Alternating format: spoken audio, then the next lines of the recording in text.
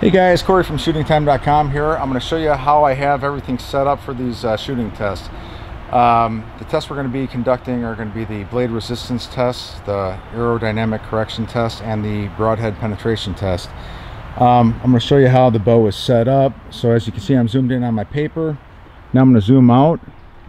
And I'm going to take a shot with my Prime Logic uh, with the aid of my Coops Bowsmith Pro and we'll see if we have it dialed in to where it has to be.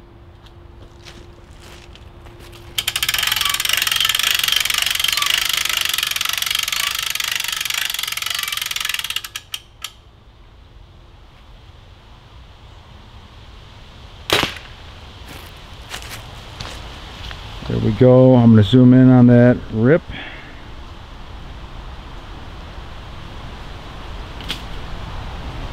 And as you can see we got a real nice bolt hole there at about 12 to 14 feet. So we're good to go. Let's start with the testing